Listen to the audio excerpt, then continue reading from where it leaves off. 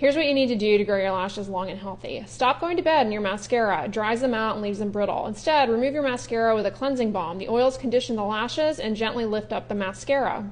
Stop using eyelash curlers. They weaken the lashes at the root, causing breakage. Stop wearing false eyelashes as they get in the way of the tear film, leading to dry eyes and brittle lashes, and the glues cause irritation that leads to breakage.